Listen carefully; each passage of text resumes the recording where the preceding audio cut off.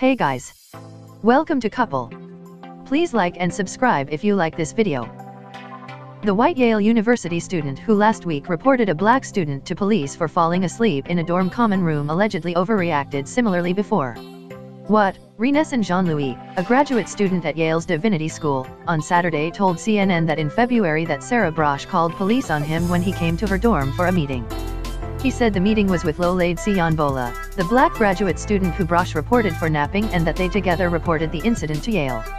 It sends a message to many black students who experience these microaggressions all the time that, what Sarah told me, you don't belong here, he said. To see that this can happen at any given moment at Yale is problematic.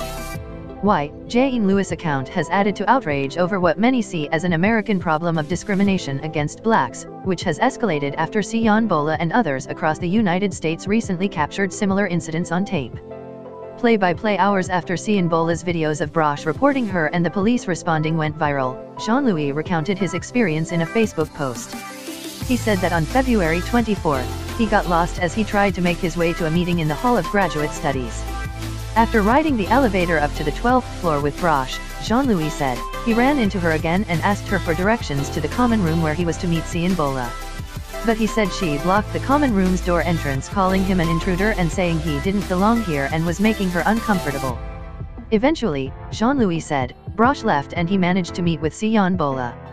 Soon, though, several police officers showed up, and Siyonbola was forced to explain that Jean-Louis was a Yale student and her guest, he said.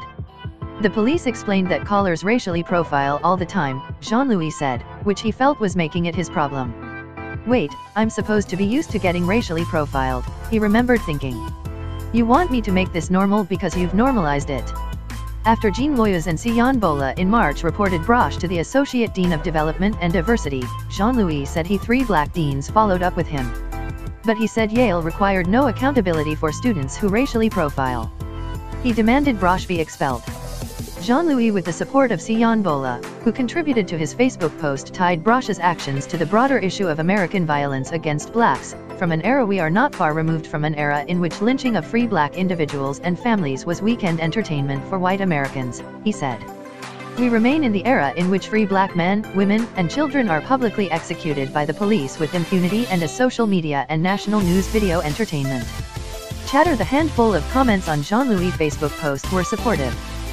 Siyonbola's videos were together viewed nearly 2.5 million times, with many commenters complaining that they captured an all too common reality. Graduate School of Arts and Sciences Dean Lynn Cooley sent an email late to her students Tuesday evening pledging to redoubling our efforts to build a supportive community. Yale Police Chief Ronald Higgins said in a statement Thursday that responding officers had told Braasch that Siyonbola had every right to be there. He said they also told her the incident was not a police matter and they would report what happened to the graduate school dean. Siyonbola wrote in a Facebook post Tuesday afternoon, grateful for all the love, kind words, and prayers, your support has been overwhelming. Black Yale community is beyond incredible and is taking good care of me. I know this incident is a drop in the bucket of trauma black folk have endured since day one America, and you all have stories. Share below if you feel led.